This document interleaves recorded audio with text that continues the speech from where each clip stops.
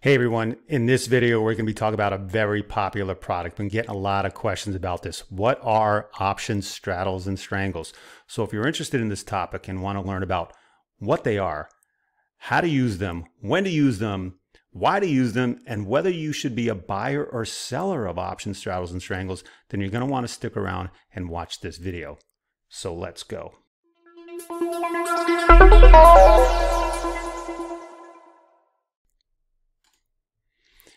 Hey everyone, I'm Lee Lowell, founder of smartoptionseller.com, an options website to help you up your game as an option trader.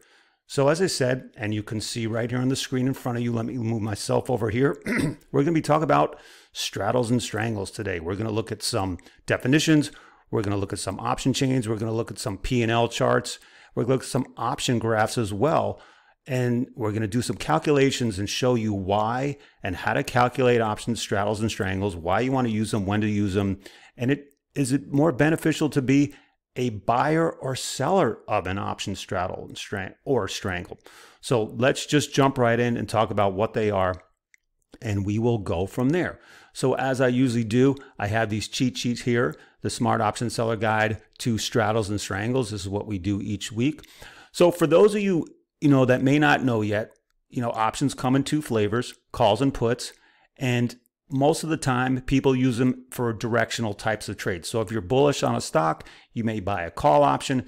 If you're bearish on a stock, you may buy a put option. And conversely, you can be a seller as well. So if you're bearish on a stock, you could sell a call option. All right. If um, if you're bullish on a stock, you can sell a put option. That's something that we do here at the Smart Option Sell. We specifically sell put options. But there are times when you know there's a stock out there. You're looking at the stock chart and you're thinking, you know what? I think this stock's going to move really big, but I'm not sure which direction it may move in. And you can use as a buyer, you can buy an option straddle or strangle that that could pay off for you if the stock moves big in either direction. So what you'll be doing as a buyer, you'll be buying both a call option and a put option at the same time, hoping that the stock's going to move big in one direction or another. And if the stock does move far enough in the right time frame, then you can be a winner as a buyer of an option straddle or strangle. Now, on the other side, as a seller, you can sell an option straddle or a strangle, which means you're going to sell both the put and the call hoping that the stock doesn't really go anywhere and the option values for each to put in the call get smaller and smaller, meaning you can buy the whole straddle or strangle back and lock in a profit. So there's two sides of the coin here. Some people like to buy straddles because they just don't know where the stock's going to go, but some people like to sell straddles and strangles because they know the stock's not going to go anywhere and they can make a profit by the time decay value of those option contracts. So let's just talk about a little bit, you know, what they are. A straddle is set up right here. I'm talking at the top line here. A straddle is set up where you can buy or sell the same strike prices using the same expiration date. So if the stock's at 100, you're going to use the 100 strike call and the 100 strike put, and they're both going to be using the same expiration date. And, for a strangle, you're typically going to use you know, an out of the money call and put option. So if the stock's at 100, you're going to buy or sell the 110 call strike and the 90 put um, call strike. You can buy or sell that. So we're going to look at some some option charts to show you what that actually looks like when you buy or sell it. Um, so let's just talk a little bit about the risks and rewards here because some people don't understand, you know, why you would want to be a buyer or seller of each. Now, as a buyer of an option, whether you buy a single option or a spread or a straddle or strangle, when you're a buyer of an option, you have unlimited reward potential to however high or however low the stock can go. If you get the direction right, your, your reward is unlimited and your risk is capped and limited, meaning whatever you pay for the option or options is that's the most that you can lose. You can never lose more than what you pay for the options. Now, on the flip side, the seller of option contracts have unlimited risk potential, meaning if the stock moves against you, you have unlimited risk potential, which is not a great thing. And you only have limited reward potential. So, whatever you sell the option for, whether you sell one option or a spread or a straddle or strangle, the most you can ever win when you sell an option is whatever you collected or whatever the option buyer paid you, but you have unlimited risk. So you may be asking, why would someone want to have unlimited risk when trading options? Well, because a lot of the times the probability of winning is very high.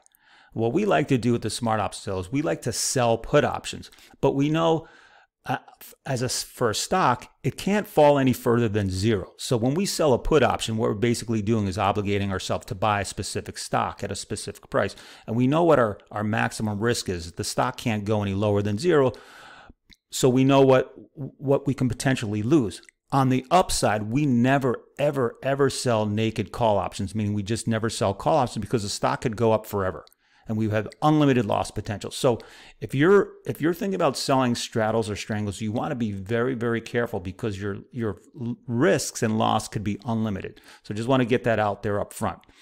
Okay, so we're talking about you know so so most people would think well they just want to be a buyer, but a lot of times buying options fails miserably, like up to 95% of the time. If you have no idea where the stock's going to go or you, do, you choose the wrong expiration date, you could be throwing good money after bad money, just trying to figure out where the stock's going to go. You buy straddle, meaning you're going to buy both call and a put, and they both end up expiring worthless. You're going to end up losing a lot of money. So that's why people like to sell options because they have eh, they're, they're taking advantage of the these option buyers that have no clue about what they're doing. So option selling does have its advantages. All right.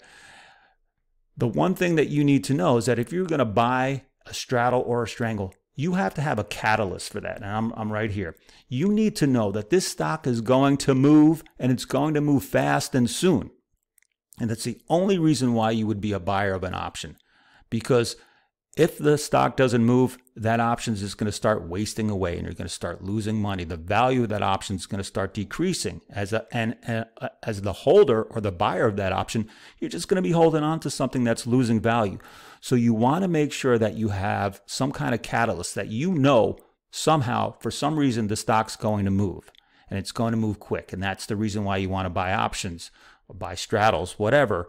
And we're going to look at a scenario where a lot of people end up buying straddles or strangles right before a stock announces their earnings, because typically after a company announces earnings, the stock will usually rise or fall pretty quickly. That's why people will concentrate on buying straddles or strangles right before an earnings announcement. We're going to look at some numbers there as well. All right. So right down here, buyers typically use this strategy for earnings. Um, but at the same time, there's always there, there's always a caveat here before earnings comes out, the volatility of those options start to increase, meaning those option prices get a lot more expensive because everybody's clamoring to buy puts and calls because they don't know which way the stock's going to move after earnings. So all that buying pressure increases the prices of those options. And once the earnings announcements come out, we know where the stock's going to go. All that volatility gets taken out of the options called volatility crush. So all those high prices as an option buyer you paid right before earnings gets deflated and all that value comes out, regardless of where the stock moves. All that volatility comes out. So the option prices deflate after earnings. So you're you're fighting with that as well. That's another reason why option sellers like to sell straddles and strangles because they like to take advantage of that volatility crush. Okay, so if you bought an option for $5 a contract right before earnings, and then tomorrow when the earnings come out, that option could be worth $3 just due to the fact that the, the announcement is now known and we know what the earnings are. So you got to be careful of that as well. All right.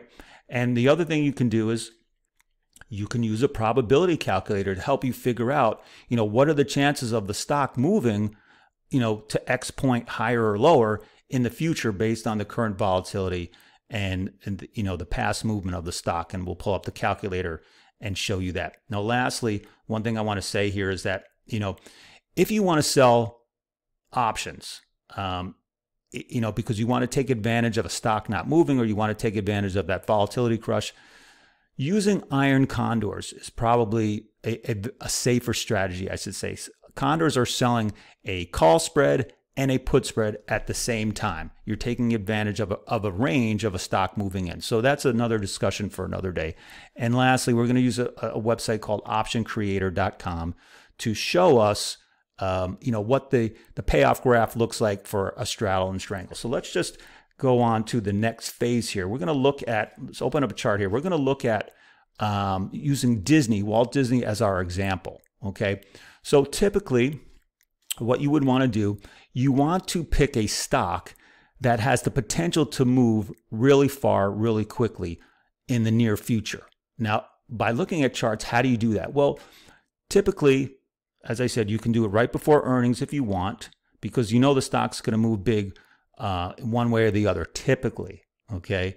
Or the other thing you can use, if, you see a stock kind of um, not really going anywhere for a while, you can see Disney has some good movement, you know, up and down. But it, right here, it has this little little period of congestion, meaning that the, the ranges that the stock trades in is getting tighter and tighter.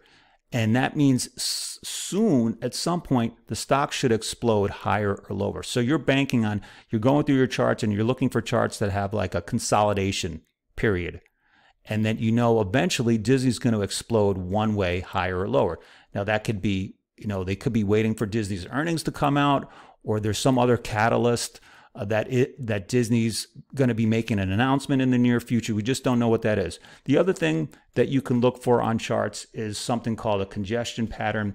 So we can draw this here and we can draw this here. So that's typically what's called a congestion pattern, where the stock kind of gets, like I said, in tighter and tighter ranges. It creates this uh, triangle pattern, which once it gets to the apex here, it'll blast out higher or lower one way or the other. So a lot of people will look at charts, they'll look for these congestion patterns, and then they'll buy a straddle, hoping that the stock's going to move really big one way or the other. Okay, so let's go to the option chain for Disney and take a look at some of the numbers, uh, how you figure out you know, what a straddle will cost you or a strangle and whether you want to be a buyer or seller of it. So we're in the interactive brokers option chain here. I've got my Disney chart, uh, Disney option chain pulled up. We've got put options on the right, call options on the left. Now these are leftover prices from yesterday's trading action, uh, April 14th, 2023.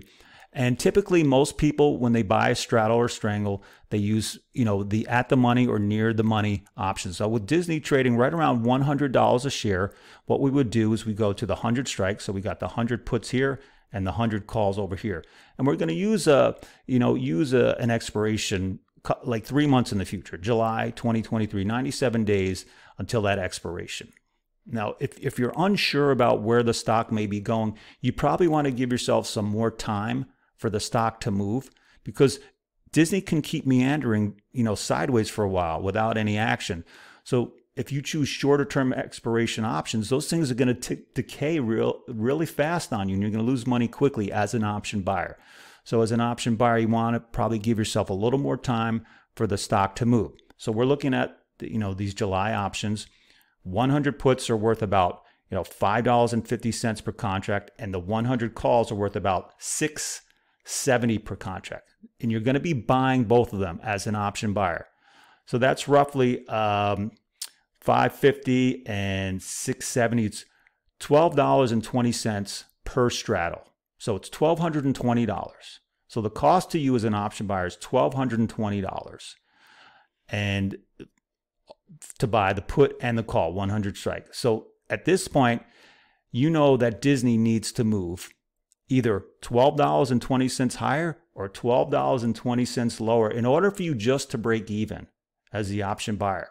Okay.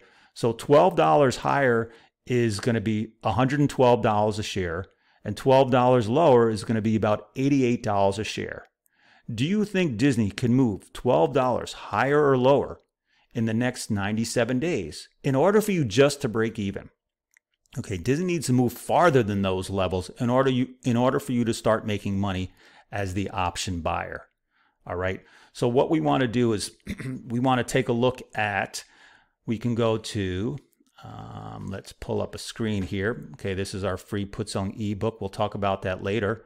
Um, we want to go to our option chart here. So I want to bring everyone up to speed on a website called optioncreator.com.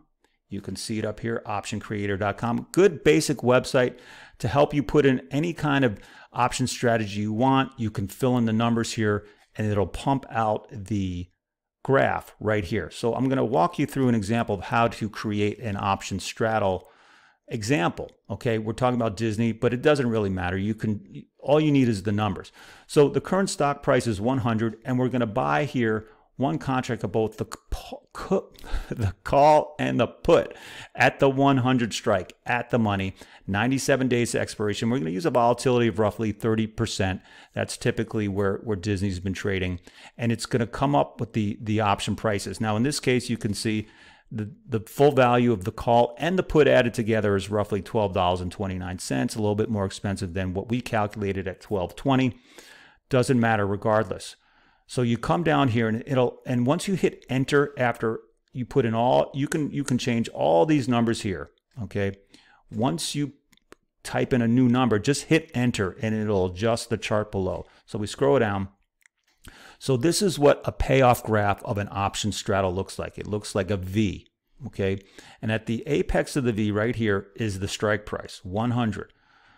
Okay, the, your worst case scenario as an option straddle buyer is for the stock to finish that expiration right at the strike price, meaning right at 100 in this example.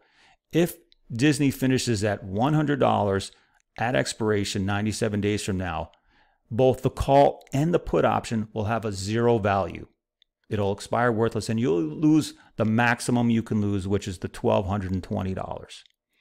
Now, as you can see, as the graph moves up, as the stock price goes down, or as the stock price goes up, you can see now your profit starts to get unlimited in either direction. Okay, so you're hoping for Disney to move. Your break even would be right around 112, uh, 112 and change as we discussed, or 88 uh, as we discussed. So you can look at the prices down here. At $88, the curve starts to move above the zero line, meaning you're starting to move into profit above 112 or so, now you're starting to move into profit. So you need to make sure that Disney is going to move $12 or more than $12 in either direction in order for you to make money. So you can see the graph here. Now the blue line is is today. If you were execute the, the trade today, this is what your P&L would look like. But at, at expiration, which is what you really care about, where where you would make or lose money. Now, you're going to lose money if um, if Disney finishes between 88 to $112. Anywhere in between that level, you're going to lose various amounts, uh, various amounts of money down in this range. But it has to get below 88 or above 112 in order for you to make money. Now, a strangle, we'll look at a strangle here. Strangle is just using slightly out of the money strike prices. So here, the, the, the call, we use the 110 call, the 110 call, and we'll use the uh, 90 put, slightly out of the money. Hit enter. Now you can see it's only $4.88 roughly. So it'll cost you $488. Strangle will cost less because the stock's going to need to move further in order for you to make a profit as an option buyer, as the, the strangle buyer.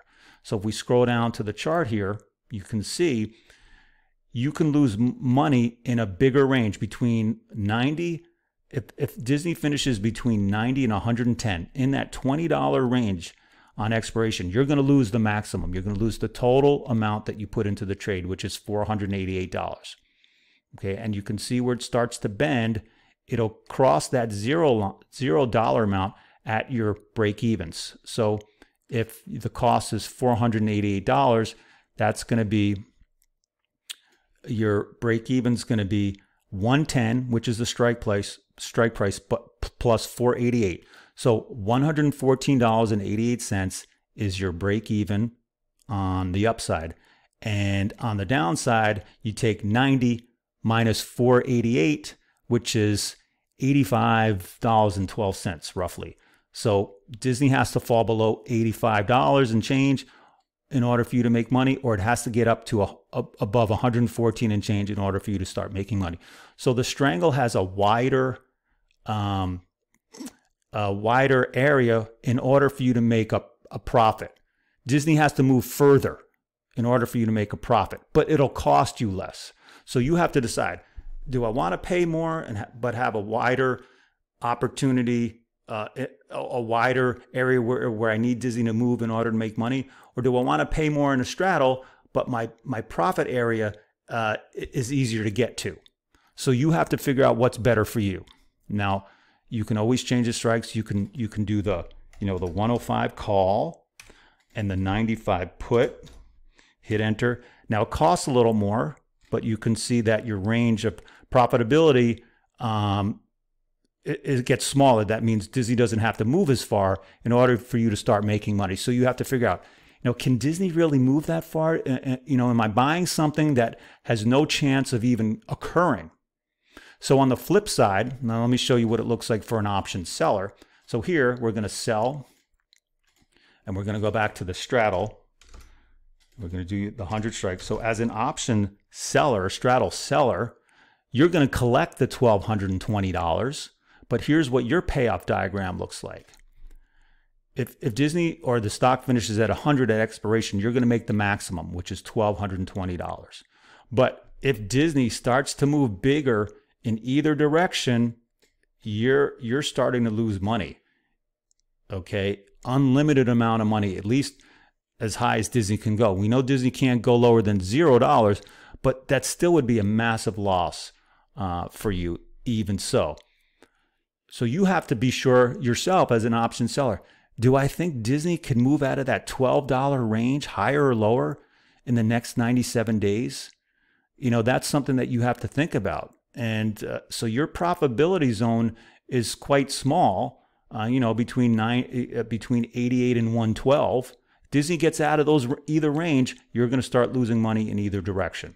Okay, so let's look at the, let's look at the, um, the strangle for the option seller.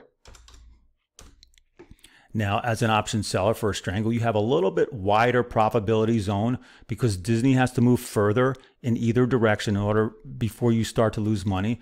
So now you have that uh, area of about you know 114 to 85 before you start losing money. Still unlimited uh, losses on the either direction. Big moves in either direction, you're losing money as an option seller.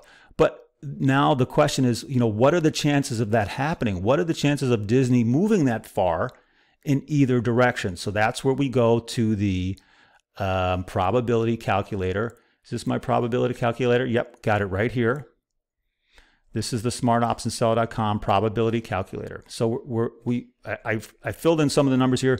Disney at 100, 97 days in the future, and we'll look at um, we'll use the 30% volatility.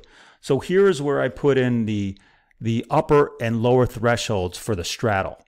Um, it was, you know, $87.80 on the downside. You know, we're using $12.20 as our um, cost of the straddle. So you, you, you take $12.20 and add it to the 100 strike and take $12.20 and subtract it from the 100 strike. Okay, so that's 87.80 on the downside and 112.20 on the upside.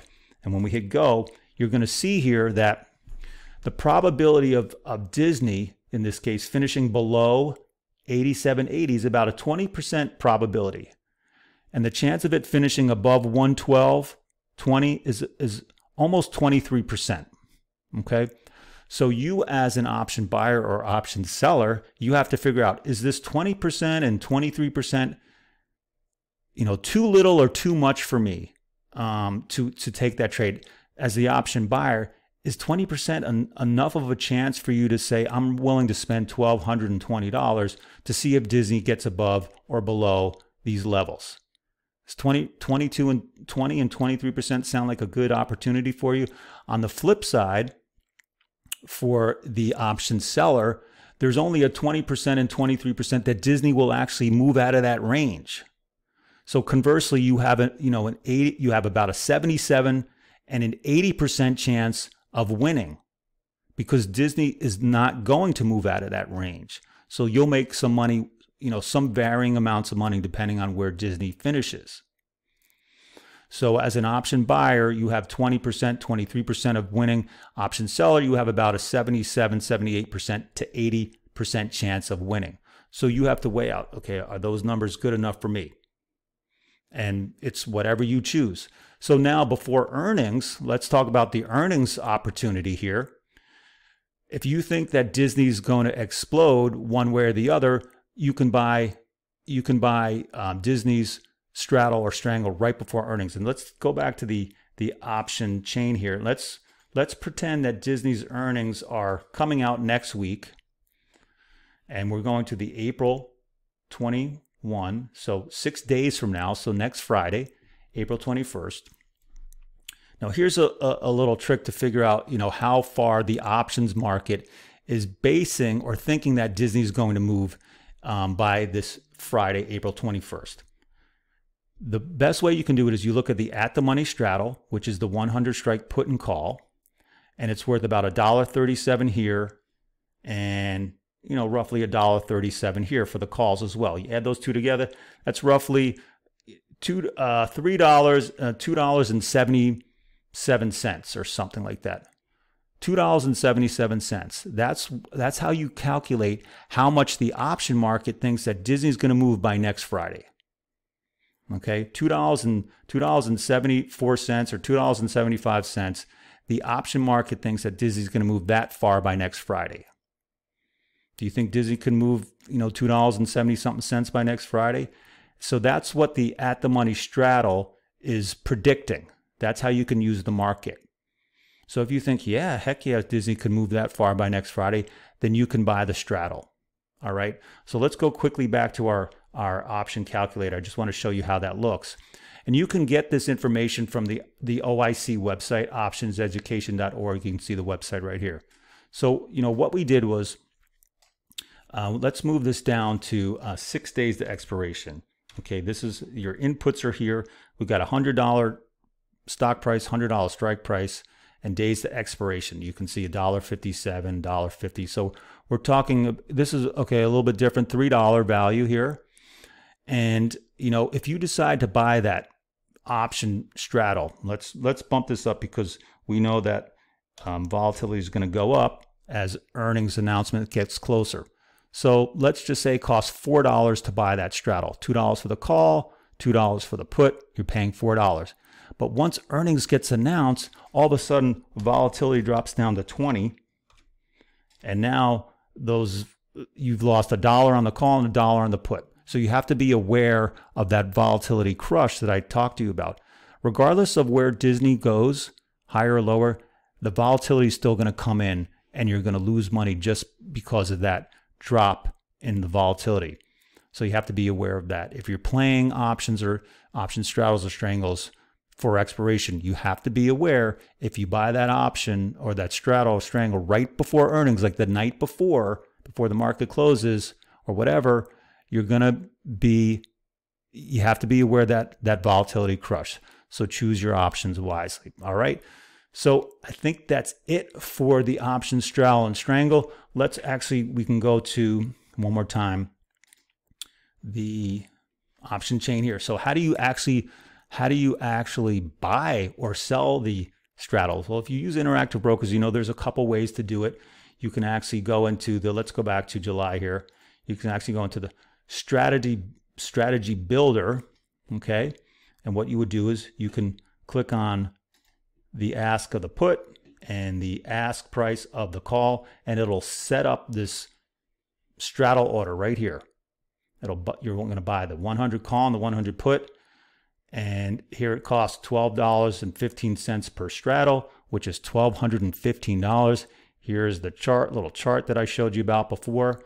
Or if you use the home screen like I do, and I put in some of this numbers before, you can actually go ahead and create the straddle and strangle right here, which for some reason um, the strangle price is not showing up, but you can add the numbers here and it'll give you the full price.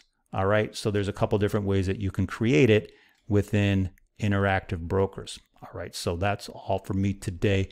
I hope this has been helpful. I hope it's giving you an idea of what straddles and strangles are all about. You know, whether you want to be a buyer or seller, whether the probabilities are good for you, how much it'll cost, the P&L graphs, the option charts. You know, you can use all these things to help you figure out whether you want to be a buyer or seller. As I said, let's go back to the the cheat sheet here. If you're gonna if you're gonna sell these things, you may want to consider the iron condors instead. These are double double it's a call spread and a put spread that you sell together. You have locked in limited risk, so those are a little bit safer. All right. So lastly, Let's go to our website, smartoptionseller.com, and I want to make sure everyone gets a free copy of our Put Selling Basics ebook. That's what we concentrate on here at the smartoptionseller.com. You can scroll down and put in your name and email address here. You do this at our website, smartoptionseller.com. All right, that's all for me today. Hope this has been helpful. Leave me a comment, give me a thumbs up, hit that like button, subscribe if you wish, send me an email. I will always answer. All right, that's it for me today. This is Lee Lowell signing off.